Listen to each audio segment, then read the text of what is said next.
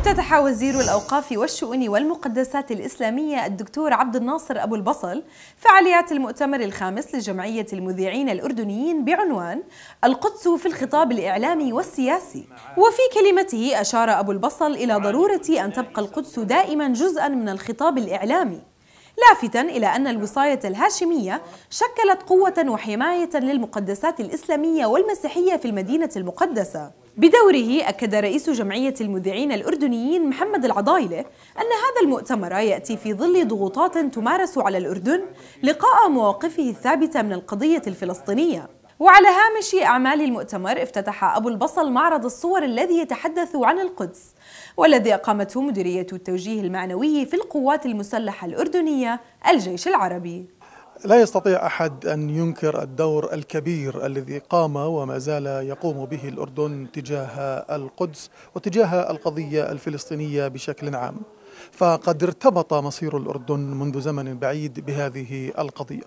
ولا يخفى على أحد أن فلسطين بمفهومها التاريخي كانت جزءا من المملكة الأردنية الهاشمية حتى وقعت في براثن الاحتلال عام 1967 ومن هنا فإن الدور الأردني ممثلا بالقيادة الهاشمية وبالشعب الأردني بكل مكوناته وبجيشه قدم وما زال يقدم الغالي والنفيس في سبيل نصرة هذه القضية.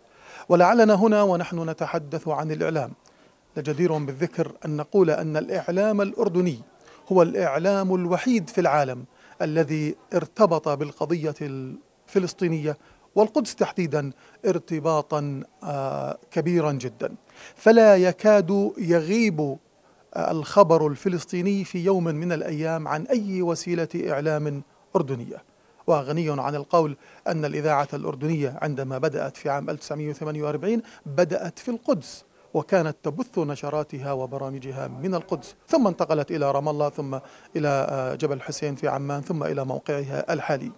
وقد سخر الأردن كل إمكاناته الإعلامية ممثلة بالإذاعة ثم بالتلفزيون الأردني في عام 68 ثم بوكالة الأنباء الأردنية عام 69 ثم بعد ذلك بالصحف التي صدرت تباعا سواء التي صدرت قبل تأسيس المملكة وأثناء فترة الإمارة أو التي صدرت بعد ذلك.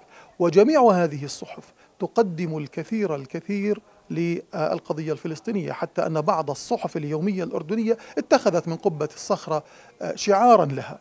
وما زال الإعلام الأردني بشقيه الإعلام الرسمي والإعلام الخاص حتى الآن يسخر كل إمكانياته ويخصص أجزاء كبيرة من بثه سواء الإذاعي أو التلفزيوني لقضية القدس وفلسطين بشكل عام.